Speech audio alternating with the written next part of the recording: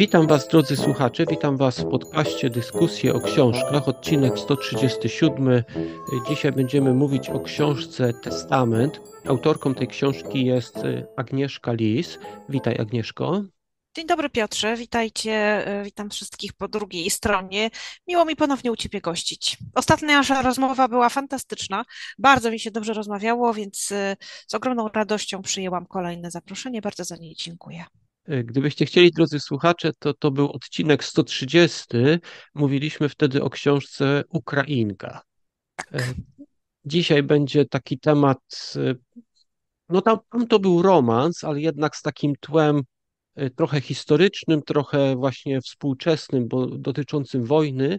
Dzisiaj chyba taki, chyba nie wiem, byś scharakteryzowała Testament, jest chyba trochę lżejszą książką od Ukrainki. E, myślę, że tak. E, testament jest e, kryminałem, ale takim kryminałem, który ma dosyć mocno rozbudowane tło obyczajowe. I ja, to, to niekoniecznie jest typowe dla gatunku kryminalnego, natomiast ja to zrobiłam z premedytacją, dlatego że jestem znana głównie z literatury obyczajowej. E, I chociaż weszłam w nowy gatunek, nie boję się e, nowych gatunków. Jest to dla mnie bardzo ciekawe, wręcz arcyciekawe wyzwanie, żeby pisać coś nowego, żeby pisać inaczej, e, żeby się po prostu rozwijać. Takkolwiek uznałam, że e, czytelnicy e, mogą oczekiwać jakiegoś nawiązania do tego pisania, do tego rodzaju pisania, do tego gatunku, w którym jestem najbardziej znana. Stąd zdecydowałam, że w testamencie mm, rozbuduję moich bohaterów i ich osobowości o właśnie te wątki, no właściwie ocierające się o obyczaj. Aczkolwiek testament jest po prostu historią kryminalną. Ja myślę, że do tego za chwilę wrócimy, bo do, o to mam też pytanie, ale najpierw Jasne. Y, jak byś zachęciła właśnie czytelników do tej książki, do testamentu bez tak spoilerowania? Mm, bez spoilerowania to trudno, nie? Mhm. e, ale mimo wszystko się postaram oczywiście. E, testament jest e, kryminałem, e, ale takim kryminałem bez e, krwi, bez flaków, e, bez takich brutalnych scen. Jest historią, w której dziennikarka, mm, twarda babka, dziennikarka radiowa, bardzo uparta, dochodzi do wniosku, że w śmierci pewnej starszej pani, która wszystkim dookoła wydaje się naturalna, są pewne elementy, elementy, które jednak naturalne, normalne nie są. E, ta dziennikarka Bożena upiera się, że mm, śmierć Nestorki rodu, ona śmierć jest w pierwszym rozdziale, więc możemy, myślę, o tym mówić bez spoilerowania. E, śmierć Nestorki e, rodu, najbogatszego koszalińskiego rodu fabiańskich, nie jest naturalna. Chociaż pani ma ponad 90 lat, to upiera się, że, że ona nie umarła śmiercią naturalną. Nikt w to nie wierzy, Wszyscy uważają, że to jest y, jakaś bzdura, no bo właściwie dlaczego? No jak ktoś ma 92 lata, no to już może tak się zdarzyć, że czas na niego, a Bożena mówi nie, to nie było normalne. I ona tą, z tym swoim uporem, e, taką dociekliwością, taką czasami, wybaczcie Państwo słowo, um, upierdliwością, mm, doszukuje się pewnych związków przyczynowo-skutkowych, na które nikt wcześniej nie zwrócił uwagi. I to jest taka, e, taki wyścig, taka zagadka, trochę szachownica różnych e, zdarzeń, e, które właściwie nie bardzo chcą się ułożyć w logiczną całość, ale Boże na tę logiczną całość znajduje. Tutaj jest właśnie, książka jest poświęcona właśnie śmierci Meli Fabiańskiej, która napisała ten tytułowy testament i teraz właśnie jest kwestia tego, czy ona zginęła śmiercią naturalną, czy może nie. I, mhm. i jak testament jest z tym związany, nie? Także no jak można... to zwykle bywa, no teoretycznie powinien e, zabić ten, który najwięcej na tym zyskuje, tylko tam zamieszanie z mhm. testamentem jest takie, że nie wiadomo, kto na tym zyskuje. Ot i to problem. Mhm. Tak, tak. No to, to jest zwykle właśnie tak chyba policja poszukuje właśnie sprawcy, czyli poszukuje się kogoś, komu zależało na przykład na śmierci, czyli poszukuje się powodu, motywu, nie? Tym motywem Tak. często na przykład mogą być właśnie pieniądze. Myślę, że bardzo często są e, pieniądze. No to historia ludzkości pokazuje, że e, chyba takim najsilniejszym, no użyję takiego słowa afrodyzjakiem, ale w takim sensie czymś, co ludzi pociąga bardzo, e, czego pożądają, jest władza. A to właśnie pieniądze dają władzę. Stąd te pieniądze są takim elementem, no, bardzo kryminogennym. Mhm, tak. I teraz właśnie przejdźmy może do tego kryminału, bo ja czytaj, przygotowując się do naszej rozmowy, czytałem sobie opinię na Lubimy Czytać y, i tam właśnie jedna osoba napisała, że się zawiodła, bo spodziewała się kryminału. I Mhm. ty tak twardo mówisz, że to jest kryminał. Y, Ja, ja też Mhm. się z tym zgadzam, nie? Ale czy No właśnie. spotkałaś się właśnie z, to, z taką krytyką, z tym, że to nie jest kryminał, albo że za mało kryminału jest w tym kryminale? E, Wiesz co, e, no ja chyba czytałam tę samą opinię co ty, Mhm, natomiast e, no, każdy ma prawo mieć e, swoją opinię i jeśli czytelnik e, mówi, że tak odebrał tę książkę, to ja tę opinię szanuję e, i nie zamierzam twierdzić, że ktoś, nie wiem, jest w błędzie na przykład, tak? Dlatego, że każdy z nas ma prawo, a nawet nie ma prawo, każdy z nas po prostu inaczej odrobinę odbiera świat, postrzega różne wydarzenia, mm, inaczej ocenia rzeczywistość i to, co nas otacza. E, I każdy z nas tak samo inaczej odrobinę odbiera, odrobinę albo bardzo mocno inaczej odbiera lektury. W związku z tym uważam, że każdy ma prawo do tego, żeby, e, żeby oceniać coś tam inaczej właśnie. E, Natomiast no, pozwolę sobie jednak pozostać przy swojej opinii. Testament to jest kryminał. Niemniej kryminał jest też wbrew pozorom gatunkiem dosyć szerokim.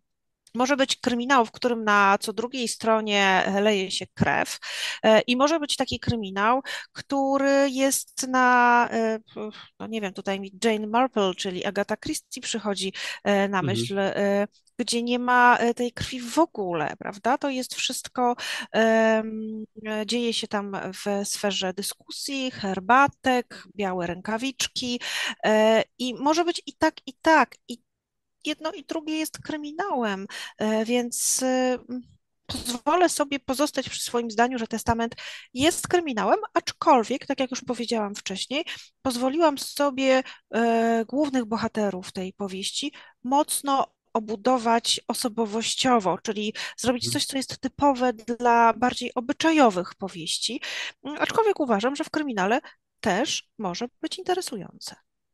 mhm. No ja tak czytając tą książkę doliczyłem się nawet aż dwóch y, wątków kryminalnych, bo jest ten główny wątek kryminalny i jest jeszcze jeden, nie będziemy go może zdradzać, y, Dobrze, zostawmy. Tak, zostawmy, bo to tak, nie, nie spoilerujmy książki. Tak. Także ja się naliczyłem, także ja też bym stwierdził, że to jest kryminał. Ja bym to właśnie scharakteryzował właśnie, y, czy może pogrupował, bo chyba my, ludzie, oceniając coś, właśnie mamy taką skłonność do grupowania, do wkładania do jakiejś półki, na przykład na półkę z kryminałem. I w tej chwili jest sporo takich kryminałów właśnie z dużym wątkiem obyczajowym, nie? Nie wiem, czy to zaczęła ta skandynawska e, pisarka Lagerberg, on, o tej Mhm. filbace, Kamila. pisała, Kam... tak, Kamila Tak. Tam było, tam jest wątek kryminalny w każdej książce, ale tam jest sporo także te, tych, tej historii miłosnej, głównych bohaterów. To Mhm. samo chyba Bonda u nas w Polsce robi. Mo- Moja żona Tak. bardzo lubi tego typu książki, właśnie gdzie jest wątek kryminalny, ale gdzie też się sporo dowiadujemy o mm, głównych bohaterach, o ich życiu prywatnym, o ich, nie wiem, miłości, romansach i tam. O tym, jacy są, prawda? Mhm. O Tak, tym, jacy tak. oni są, jakby po, poza tym, że e, prowadzą śledztwo, że, że domyślają się albo doszukują e, różnych e, wyjaśnień dla nurtujących ich spraw, no to jednak tak, no, wydaje mi się, że fajnie jest wiedzieć, kim ten bohater jest. Kim jest Kurt Wallander. Tak, dokładnie. No tak, no tak jak ty wspomniałaś o Agacie Christie, ona stworzyła dwie takie, dwóch takich detektywów. Mamy panią Marple, która jest Herkulesa wdową, tak. I o, obie te postacie w zasadzie nie mają życia prywatnego. Herkules Poirot to już jest ktoś na emeryturze, który kiedyś tam dawno temu miał jakąś miłość, ale w tej chwili nic innego nie robi, tylko rozwiązuje zagadki. Znaczy, Samo... poczekaj, poczekaj. On jeździ po świecie i roz, rozwiązuje za, za, zagadki, popijając syrop de cassis, oczywiście. Tak, ale on, wiesz, on w zasadzie nie ma życia prywatnego, nie? Nie, nie ma... nie na kartach nie. I tak, i tak samo Panna Jane w zasadzie Marple pa, też pani nie. Marple, ona też nie, ona też nie ma życia prywatnego, ona po prostu plotkuje ze swoimi sąsiadkami, przyjaciółkami i przy okazji rozwiązuje tam zagadki kryminalne. Tak, nawiązując do tego, że jej kuzynka kiedyś rozmawiała z kimś tam, kto powiedział, że e, i to jej się kojarzy z aktualną sytuacją i na tej podstawie ona rozwiązuje e, e, sprawę, będąc w tym sprawniejszą od policji oczywiście. Tak, tak. Czyli mo może niektórzy ludzie wolą właśnie takie postacie właśnie jak Herkules Poirot czy pani Marpol, gdzie oni nie mają życia prywatnego, a są inne osoby, które wolą właśnie e, dowiedzieć się czegoś więcej, właśnie co detektyw, czy w tym wypadku dziennikarka zajmująca się taką rozwiązywaniem takich spraw detektywistycznych, y, co jak ich, wygląda ich życie prywatne, nie? No, wydaje mi się, że i jedna, i druga forma e, mogą być interesujące dla czytelnika. Nawet jestem przekonana, że, że tak jest, że każdy z tych rodzajów kryminału ma swoich zwolenników i myślę, że to też jest piękne, że y, możemy czytać różne rzeczy, bo pisarze piszą różne książki. Ale wiesz co, mi się wydaje, że chyba odeszliśmy od tego, bo jednak e, Agata Christie pisała, e, no ona zmarła już chyba 50 lat temu, nie? Czy nawet Tak. więcej. Wcześniej jeszcze Conan Doyle tworzył postać Sherlocka Holmesa, on też nie miał życia prywatnego, a dzisiaj Nie, właśnie chyba w kierunku właśnie takiego, tych postaci, które mają swoje własne mm, wątki. No, zresztą wydaje mi się, że sama popularność tego typu kryminałów właśnie z takim dużym wątkiem wskazuje na to, że ludzie chcą to czytać, nie? Że chcą Zresztą, wiedzieć, kim jest ich bohater. Tak, e, na marginesie Agata Christie zmarła w 76 roku. mhm. Czyli będzie z 2026 będzie 50 lat, tak? Będzie 50 lat, tak, czyli mamy jeszcze 3 lata. Mhm. Trzy z kawałkiem, bo to był styczeń, więc jeszcze kawałek. Nawiązując teraz właśnie do tego życia prywatnego trochę mm, głównej bohaterki, tutaj mamy dziennikarkę e, Bożenkę, która jest właśnie dziennikarką. I ostatnio, w ostatniej audycji my rozmawialiśmy o tym, że ty jesteś pianistką, że to jest twój zawód, ale ty masz chyba także zawód dziennikarza, z tego co widziałem w twojej biografii. Czy ty pracowałaś kiedyś, tak jak właśnie główna bohaterka w gazecie? Nie. E, Ja owszem e, jestem, mój drugi fakultet, który skończyłam, to było dziennikarstwo e, ze specjalnością telewizyjną. Nie pracowałam nigdy ani w radio, ani w telewizji. Przez chwilę, no parę lat, współpracowałam z magazynami, a takimi kwartalnikami, miesięcznikami audiofilskimi, czyli muzycznymi, czyli tymi związanymi z moim pierwotnym, tym pianistycznym wykształceniem. Ja pisałam dla kilku magazynów, dla jednego nawet przez blisko 10 lat, e, ale nigdy nie miałam doświadczenia radiowego. E, I powiem Ci, że jak napisałam tę książkę, to dałam takiej jednej e, mojej bardzo lubianej przeze mnie zaprzyjaźnionej wręcz dziennikarce z radia Koszalin, no nomen omen, do czytania ten tekst, y, bo z taką prośbą, żeby właśnie sprawdziła, czy od tej strony takiej warsztatowej, dziennikarskiej nie ma jakiegoś błędu. E, I na szczęście ona coś tam znalazła, na szczęście nie za wiele, tam tak naprawdę, już tak gwoli anegdoty opowiem, e, znalazła dwa błędy. Pierwszy jest taki, że wysłałam Bożenę na ulicę miasta, by zrobiła uliczną ankietę, a y, nie robimy ankiety, tylko sądy uliczne, więc to Mhm. była jedna rzecz, którą w książce oczywiście poprawiłam. A druga jest taka, że mm, twierdziłam, jakoby e, Bożenka po, Bożena, przepraszam, po nagraniu e, audycji e, wchodziła do studia, by ten materiał zmontować. I e, uświadomiono mi, że owszem, e, audycje nagrywane są w studio, natomiast e, m, montowane już potem przy biurku. E, Więc to były takie dwie rzeczy, które po prostu musiałam poprawić, czy musiałam, chciałam poprawić e, w tekście, Mhm. żeby rzeczywiście były, były zgodne ze sztuką dziennikarską. Mhm, tak.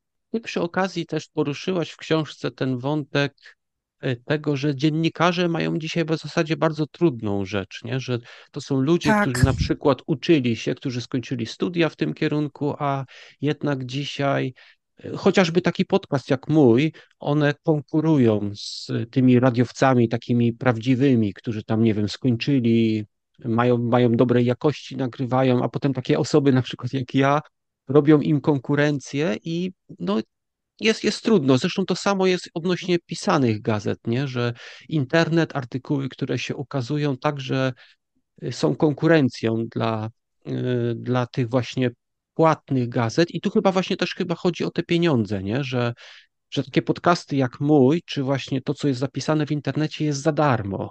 Mhm, Bardzo często jest za darmo, ale wiesz, ja myślę, że e, to może nie jest jedyny problem. Ja bym bardziej e, pomyślała o tym, że problem tego dziennikarstwa takiego klasycznego e, polega na tym, że widz, słuchacz, czytelnik oczekuje dzisiaj trochę innych treści.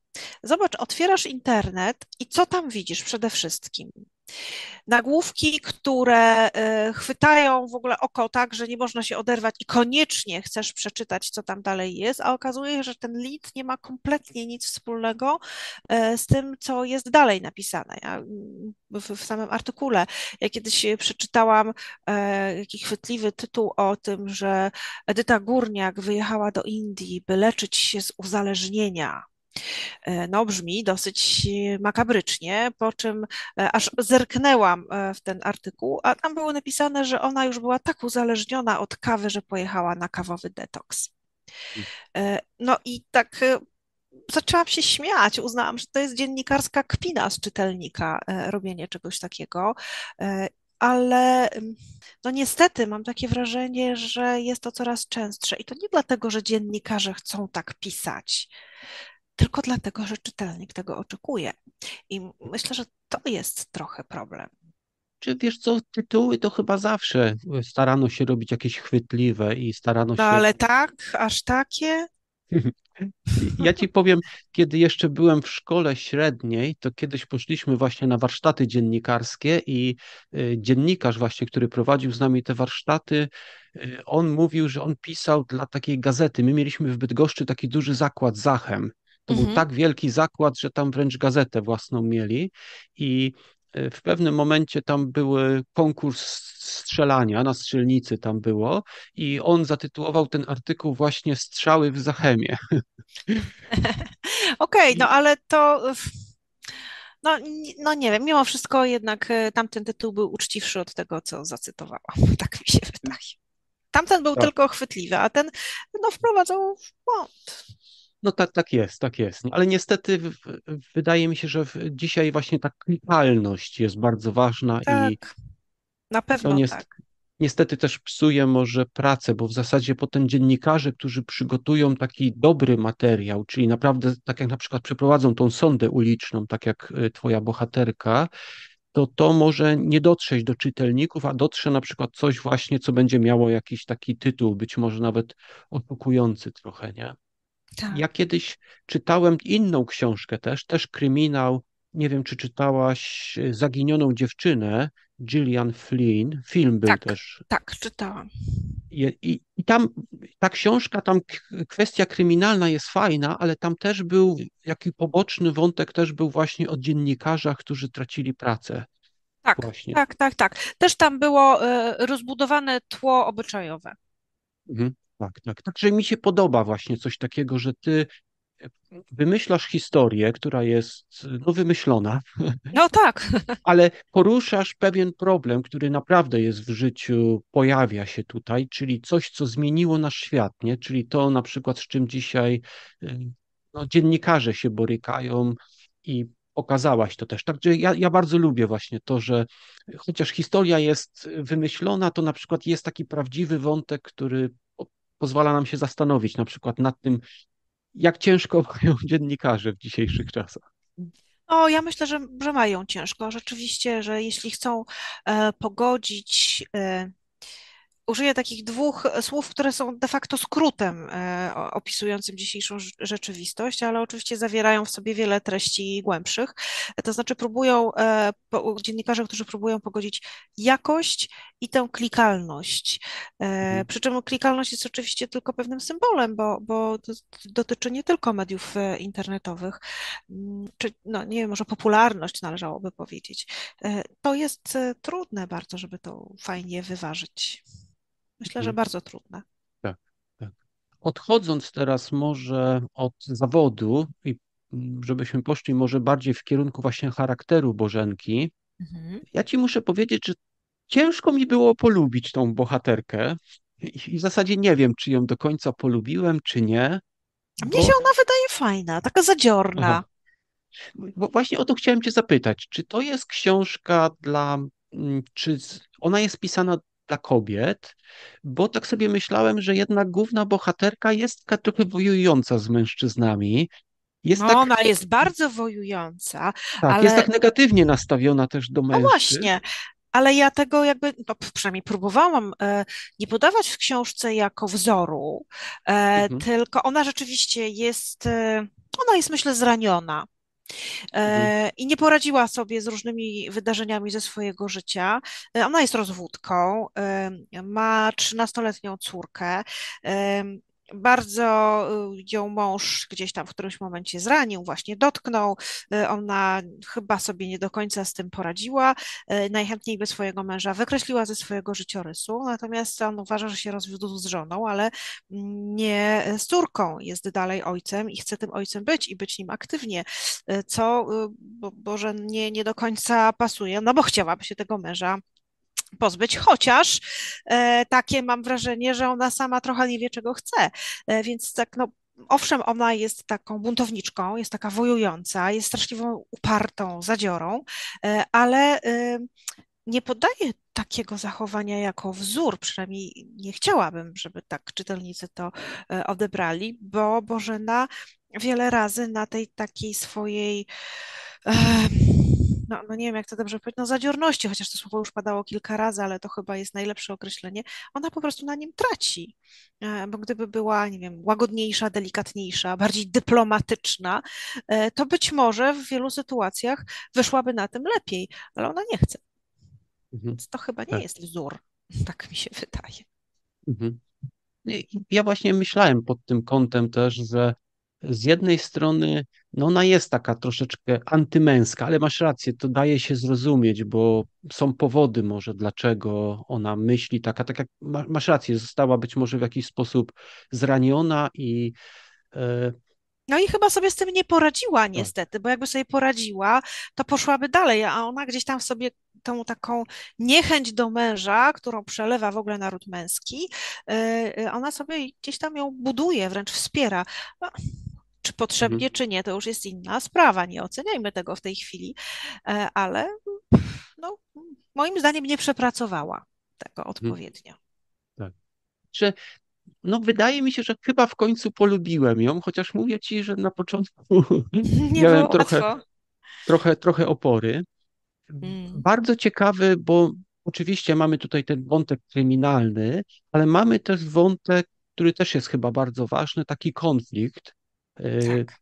tych różnych pokoleń kobiet i tu nie tylko matki i córki, ale tam jeszcze babcia e, tak. wchodzi w grę i z, z, tych wątków właśnie, czy ten kryminalny wątek, czy może właśnie ten osobisty, który był dla ciebie ważniejszy?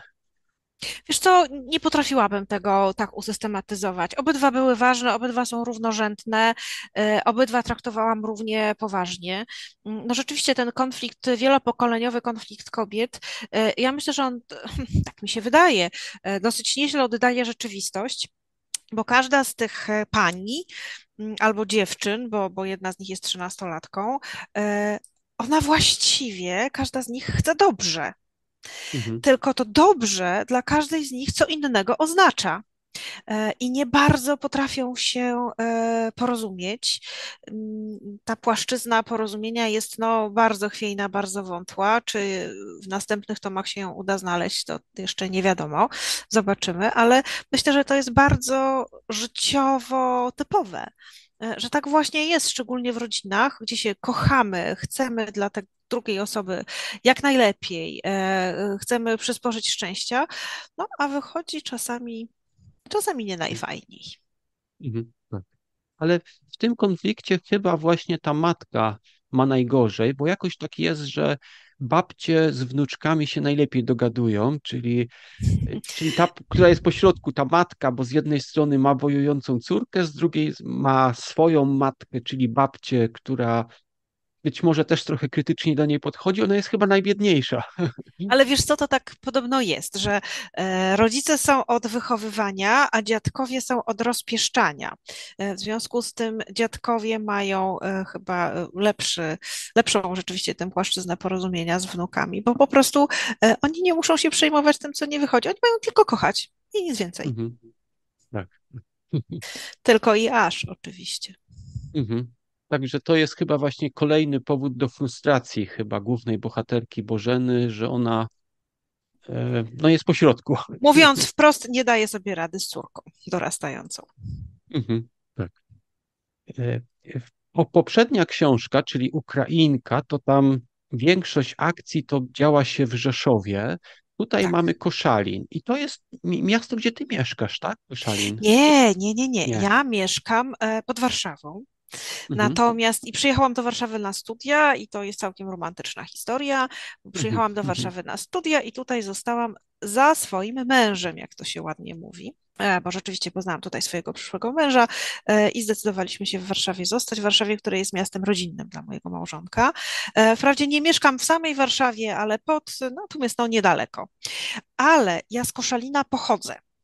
Mhm. I Koszalin to jest e, miasto, w którym dorastałam, w którym zdałam maturę e, i do którego dziś, do dzisiaj wracam z ogromnym e, sentymentem. I ja do dzisiaj uważam, że Koszalin to jest moje miasto. Mm, I jak tam przyjeżdżam, to zawsze powtarzam, że ja do dzisiaj wiem, jak ominąć korki w Koszalinie, jeśli się takie pojawiają. Mhm. Mm, więc dalej czuję się tam jak u siebie, dalej są moje ścieżki. One już troszkę tam pozarastały w niektórych miejscach. Oczywiście, że miasto się zmieniło, miasto się rozbudowało, mm, e, miasto już wygląda trochę inaczej, ale dalej jest moim miastem. A jeszcze do tego dochodzi to, że ja uwielbiam morze.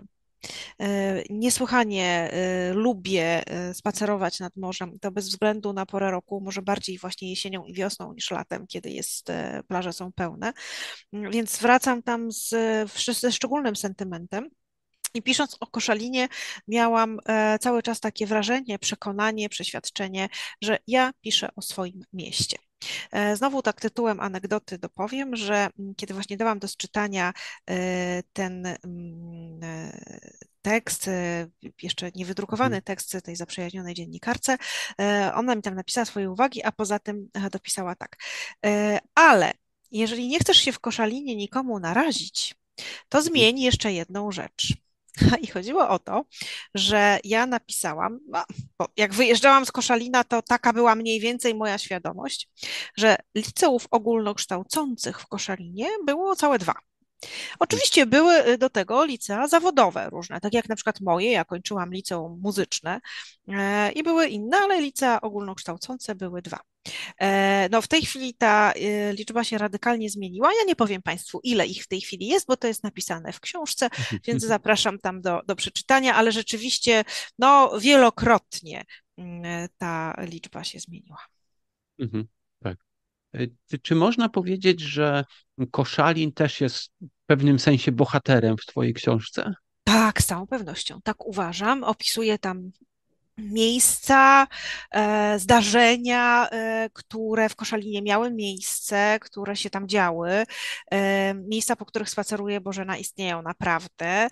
Dzielnice, w których się porusza, istnieją naprawdę. Rzeczywiście sposób, w jaki ona się porusza w Koszalinie jest jak najbardziej realny, bo tyle mniej więcej do, zajmuje dojazd tam z miejsca, w którym ona pracuje lub mieszka, do miejsca, do którego zamierza się przemieścić.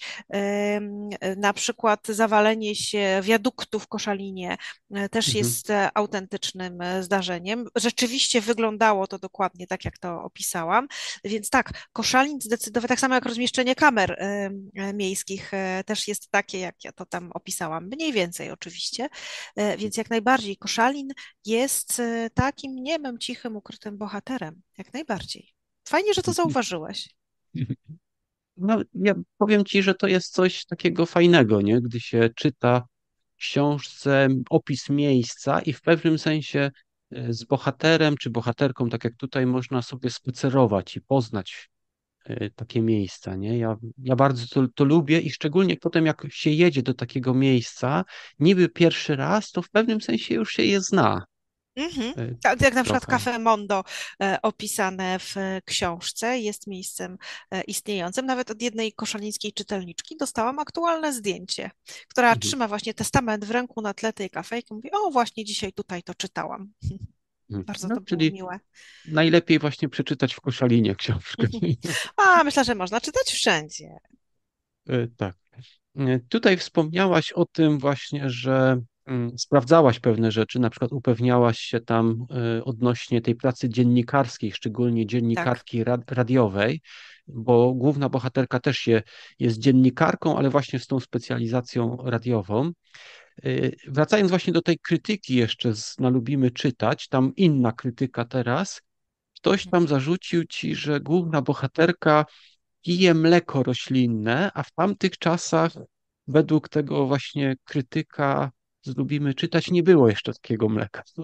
Otóż było, bo ja to sprawdzałam, to były lata, e, to początek e, XXI wieku i wtedy mleko roślinne nie było oczywiście tak popularne jak dziś, e, natomiast było i uchodziło za wynalazek, za takie, takie dziwne coś, e, Mhm. natomiast było już istniało. Tak, to ja to sobie pozwoliłam już sprawdzić, więc e, tu Mhm. akurat jestem pewna tego, co, co mówię, aczkolwiek rzeczywiście nie było to jeszcze wtedy modne, więc uchodziło za dziwactwo, tak samo jak sushi na przykład, tak? Aczkolwiek Mhm. sushi też już wtedy istniało, bo ja sama już przy, jeszcze w ubiegłym wieku sushi jadłam, więc jak najbardziej e, było. Niemniej też popularnością wtedy jeszcze nie grzeszyło, no ale to nie znaczy, że jego nie było. Było. Mhm. I właśnie o to chciałem Cię też dopytać, może trochę bardziej. E, Czy Bo ja w zasadzie nie, jak ja, ja piszę teraz własną książkę i też staram się, właśnie tam będzie hi- historyczne wątki, staram się je dokładnie oddać, ale nie myślałem właśnie do tego, że ktoś może przyczepić się do tego, że mleko roślinne było czy nie, to taki szczegół, ale widać to było dla kogoś ważne. Y, Jaki jest właśnie taki może najdziwniejszy zarzut, który jakiś krytyk dał ci odnośnie jakiejś twojej Mhm. książki wcześniejszej? Wiesz co, to jest oczywiście trudne pytanie, ale się przyznam. Kiedyś przeczytałam taką swoją recenzję, taką recenzję swojej książki, jednej z pierwszych moich książek, mm, w której e, jedna z czytelniczek wyraziła się tak, że ta książka jest beznadziejna. Jest okropna, w ogóle nie da się jej czytać. Bohaterowie są mdli, nic się nie dzieje, no w ogóle no, no, koszmarnie napisana, w ogóle wszystko było złe. E, I Mhm. konkluzja tej recenzji była taka, że ta książka jest tak zła, że jej nie przeczytałam. Mhm. E, I to, i tak jak ja czytałam te recenzje, e, no wiesz, prawie że ze łzami w oczach, bo to była moja Mhm. bodajże trzecia książka, pierwsza po przerwie, bo to dotyczyło pozytywki i no bardzo, bardzo ją przeżywałam. Tak kiedy przeczytałam to ostatnie zdanie, to po prostu wybuchnęłam śmiechem, e, no i stwierdziłam, że no okej, no to jeżeli mamy rozmawiać na takim poziomie, że krytykuję coś, czego nie przeczytałem, no to ja pójdę do innej piaskownicy. Czyli recenzja cię bolała, dopóki nie przeczytałaś tego ostatniego zdania. Tak, tak, dokładnie tak. I to, ale zobacz, że zapamiętałam ją, tak? A Mhm. potem wi- wiele różnych czytałam, i lepszych, i, i gorszych. Były takie, z którymi się mm, nie zgadzałam. Mhm. Co nie zmienia faktu, że ja zawsze za recenzję dziękuję, bo nawet jeśli ktoś pisze coś niepochlebnego, dlatego że uważam, że e, oczywiście inna historia jest, jeżeli to pisze recenzent zawodowy, ale jeżeli to pisze czytelnik, to znaczy, że on się pochylił nad tą książką, nad tym tekstem, Mhm. że zechciał go przeczytać, w jakiś sposób go jednak poruszył na tyle, że zechciał poświęcić swój czas, aby te kilka, kilkanaście zdań e, napisać. E, Więc tak czy siak jest to dla mnie e, powód do zadowolenia, że ktoś mojej książce i mojej pracy poświęcił uwagę. To, że mm, może mu, mogą się komuś pewne aspekty podobać bardziej albo mniej, też jest dla mnie oczywiste. Zresztą mówiliśmy o tym na początku, tak, że, że kryminał może być bardziej obyczajowy lub bardziej krwisty. E, No, ani książka, ani pisarz to nie jest zupa pomidorowa, nie wszystkim musi smakować, nie wszystkim musi się podobać. Mamy prawo mieć różne gusta i ja te gusta u czytelników e, szanuję i, i wysoce sobie cenię to, że po prostu ktoś w ogóle chce mm, recenzję, swoje opinie e, pisać, że chce poświęcić na to czas. Mhm. Tak. Ale gdybyś na przykład miała doradzić właśnie pisarzowi, który być może chce wydać pierwszą książkę, to radziłabyś czytać recenzję, czy może dać sobie spokój? Myślę, że dać sobie spokój. Myślę, że dać sobie spokój. Wiesz, no ja się spotkałam też z takimi sytuacjami, że e, napisałam raz książkę, to były bodajże witraże. E, to był czwarty tom takiej serii Czas na zmiany, obyczajowej serii, w której akcja też dzieje się w Koszalinie, e, ale bohaterowie, no i w okolicach Koszalina, gdzieś tam jest Mielno e, i między innymi pojawia się także Kołobrzeg. Mhm. E, bohaterowie tam, Kołobrzeg jest 40 kilometrów od Koszalina e, i bohaterowie tam, no, jakieś tam sceny się toczą. I jedna recenzentka napisała, że akcja książki toczy się w Kołobrzegu. I Mhm. ona się po prostu pomyliła. E, Bo, bo okej, zdarza się tak, to jest życie. Natomiast potem pojawił się wysyp recenzji, co najmniej kilku, które ten Kołobrzeg powielały. I to Mhm. dla mnie było straszne, bo jak się wczytałam w te recenzje, to uświadomiłam sobie, że one są li tylko nabijaniem em, sobie, e, nie wiem, wyświetleń na Instagramie czy na Facebooku, bo dziewczyny, które to pisały, nie przeczytały tej książki.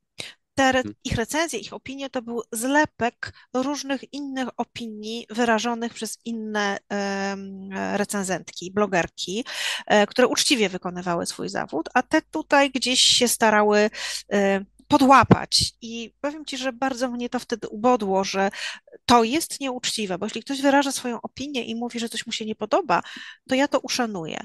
Ale jeśli ktoś kopiuje cudze opinie, podpisując swoim nazwiskiem, no to protestuję przeciwko temu.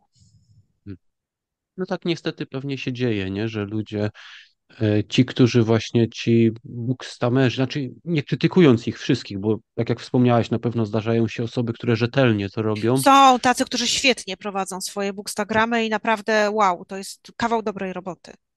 Mhm. Tak, tak. Ja tutaj w Anglii mam kilku właśnie, y, znaczy to są z reguły dziewczyny, chyba nie znam żadnego faceta, który by to robił. Y, naprawdę świe- świetnie się tym zajmują Mhm, i myślę, że pomagają też autorom y, wypromować swoje książki. To jest naprawdę Nie y, znam rynku angielskiego, ale na polskim jest takich osób nawet nie kilka, ja bym powiedziała, że co najmniej kilkanaście i są też wśród nich e, panowie.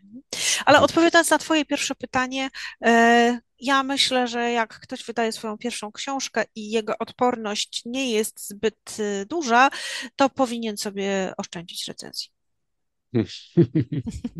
No właśnie tak sobie myślałem, że jakby kiedyś napisał swoją książkę, to być może dam żonie, żeby czytała recenzję i tam coś I konstruktywnego mi przefiltrowała. I tak, przefiltrowała. nie? Czy jak tam będzie jakaś konstruktywna krytyka, żeby przekazać może, a, Wiesz co, to ja ci powiem a propos e, krytyki konstruktywnej i niekonstruktywnej. E, jak e, wiesz, e, bo chyba o tym rozmawialiśmy, ja nagrałam także audiobooka do Testamentu. Mhm, Przeczytałam e, własny tekst e, i ten audiobook jest dostępny na różnych e, oczywiście e, platformach, no, te, które normalnie Ja, ja właśnie przesłuchałem sobie książkę właśnie w, w audiotece A, super, sobie. super. Mhm, I wiesz, jakie były pierwsze dwie recenzje, jakie dostałam tego audiobooka? I e, one były dla mnie o tyle ważne, że to jest e, pierwszy audiobook, czyli jakby mhm, za, no, wyszłam ze swojej strefy komfortu, przeczytałam własny tekst, e, był to dla mnie rodzaj debiutu, czyli ważna sprawa. Pierwsza recenzja była taka. Nie, no jak autor czyta własny tekst, to, już mhm, jest e, degrengolada, coś, coś takiego, nie? E, mhm. więc y, i oczywiście tam jedna gwiazdka, czy tam ile tam było, już nie pamiętam, jak, jaka tam jest ocena. Mm, A druga recenzja brzmiała tak, nie, no lektorka ws- wszystko psuje. Mhm, E, mhm, Wiesz, co to oznaczało dla kogoś, kto czekał na te pierwsze recenzje z e, takim mhm, drżeniem, tak, jak to zostanie przyjęte? Ja oczywiście miałam e, wcześniej opinie mm, osób, które i to nagrywały, i tego odsłuchiwały przed em, wypuszczeniem, tak, do, do, ludzi, że tak powiem. Dlatego, że ja sama nie wymyśliłam tego, że będę czytać tego audiobooka. Ja przeczytałam podziękowania, które są zawarte w audiobooku w niebieskim. Podziękowania skierowane do czytelnika, bo całego audiobooka czyta lektorka. I Mhm. realizator tego audiobooka, jak wyszłam ze studia, to powiedział tak: Ty powinnaś czytać swoją książkę. Mhm. I poszedł z tym e, mm, zdaniem dalej, poszedł do e, redaktor naczelnej. I ona, jak to usłyszała, mówi: Dobra, to spróbujemy. E, I to ona była dla mnie takim dobrym duchem, który mnie zmotywował do tego, żeby do tego studia wejść i, i tego audiobooka nagrać. Aczkolwiek po pierwszej sesji, ja, ja, jadąc na tą pierwszą sesję, powiedziałam od razu: Słuchajcie, przesłuchamy dziś to, co dzisiaj na, się nagra, to, co dzisiaj e, nagram, to, co dzisiaj przeczytam, i zdecydujemy, czy idziemy w to dalej, czy nie. Czy to jest Mhm. dobre i czy uznacie, że to jest e, do zaakceptowania? E, I dopiero kiedy usłyszałam taki, e, no, jednogłośny akcept, tak, nagrywaj dalej, dopiero umówiłam się na następną sesję. Więc ja jakby miałam pewną pokorę i taką świadomość, że wchodzę w zupełnie nową rzekę dla mnie i że muszę się liczyć z tym, że coś mi po prostu nie wyjdzie. Mhm. I było to dla mnie ogromne e, przeżycie. E, I wiesz, jak przeczytałam te pierwsze recenzje, to tak troszkę no, skrzydełka mi opadły. Mm, Aczkolwiek Mhm. później zdałam sobie sprawę, że, e, no, że cóż, pewne rzeczy trzeba, na pewne rzeczy trzeba brać poprawkę. Skórę mieć grubą. Pisarz, autor, zresztą każdy twórca, bez względu na gatunek, mm, musi sobie zdawać sprawę z tego, że kiedy upubliczniamy swoją pracę, no to wystawiamy się, no ja to mówię, że się wystawiamy na strzały. Mhm. Nasze dziecko staje się własnością publiczną e, i bez względu na to, jak bardzo byśmy go nie kochali, bez względu na to, ile byśmy pracy w nie nie włożyli, no niestety okazuje się, że, że czytelnik, e, widz, e, odbiorca generalnie mają prawo nas krytykować. To czasem strasznie boli, więc trzeba Mhm. sobie tę skórę tak trochę pogrubić, na ile Mhm. to jest możliwe, no ale rzeczywiście zbudować pewną, e, pewną odporność. Także powiem Ci tak, Piotrze, jak już wydasz swoją książkę, oszczędź sobie pierwszych recenzji, tak na wszelki wypadek. Mhm. Tak. A czy te recenzje właśnie tego audiobooka, bo to chciałem Cię właśnie zapytać, czy będziesz czytać kolejne, czy nie zniechęciły Cię te recenzje? Wiesz co, w pierwszej chwili pomyślałam, że już więcej do studia nie wejdę, ale dostałam potem tyle dobrego i pozytywnego feedbacku od Mhm. e, innych czytelniczek, e, e, które no, takimi słowami komentowały, recenzowały tego audiobooka, że uznałam, że to chyba jest zbyt pochopne, żeby y, mm, poddawać się po, po dwóch takich Mhm. nieżyczliwych e, bardzo komentarzach, nie wiem, nieżyczliwych, zazdrosnych, nie mam pojęcia, e, ale y, nie, nie powiem Ci w tej chwili, że na pewno będę je nagrywać, e, ale no nie wykluczam tego, a wręcz powiem, żebym chciała. Mhm. Tak. Bo to jest chyba, masz rację, to jest trudne.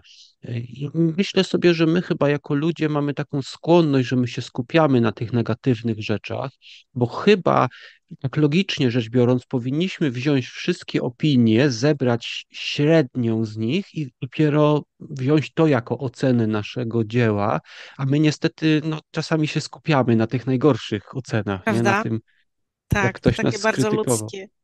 Tak, to, że ktoś Mhm. cię trzy razy pochwalił, dziesięć razy pochwalił, nie ma znaczenia. Pamiętasz o tym, że komuś się coś nie podobało. Mhm, tak, tak, jakoś tak, masz rację. Nasza pamięć nawet działa pod tym kątem, że lepiej pamiętamy właśnie tą krytykę, a nie tych, co, A to bez sensu, prawda? Bo to Mhm, jeśli, jeśli krytyka nie jest konstruktywna, a najczęściej to właśnie tą pamię tę pamiętamy, która jest taka raniąca, e, to ona nas nie rozwija, tylko zatrzymuje, powstrzymuje w dalszym rozwoju.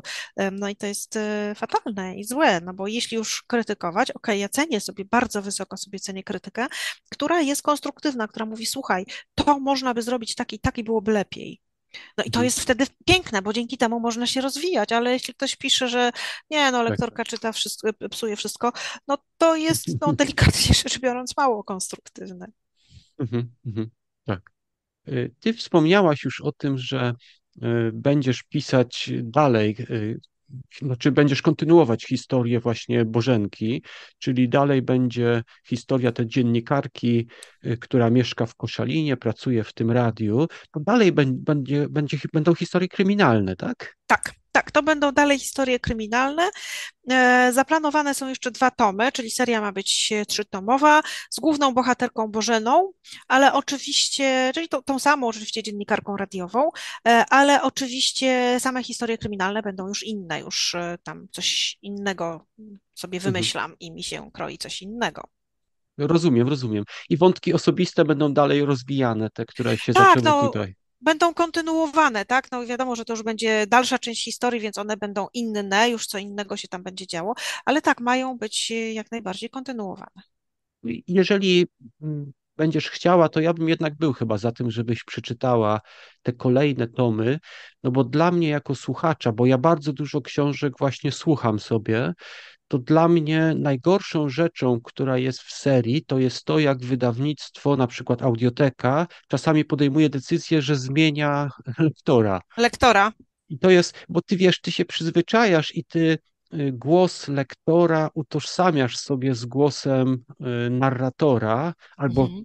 mi, mi się kojarzy to. I nawet kiedyś miałem tak, że słuchałem książki napisaną przez kobietę, czytał mi lektor, też chyba w audiotece tak zrobili. Mhm.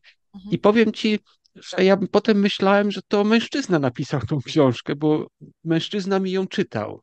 No tak.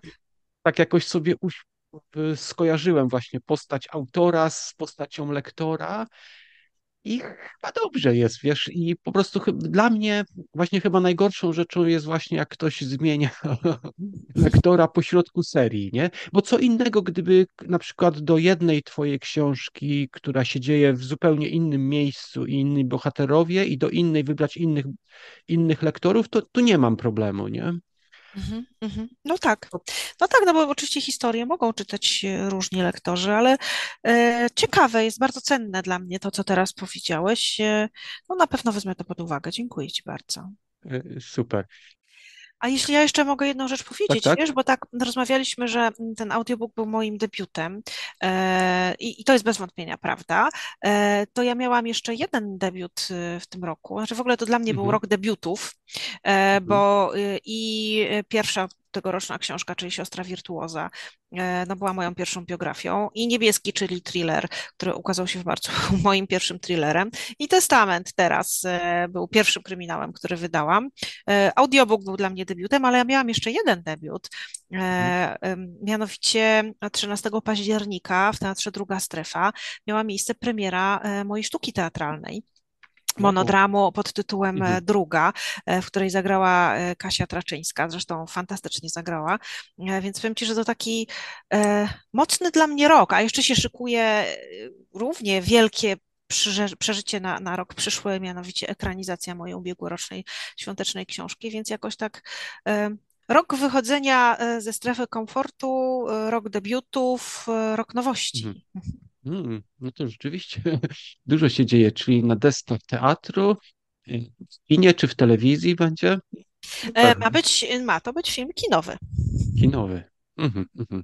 No to gratuluję, gratuluję. To był, myślę, że to był dobry rok dla ciebie, ten 2023. Jeszcze się nie skończył. Jeszcze się nie skończył, ale tak, myślę, że zawodowo, zresztą prywatnie też na szczęście.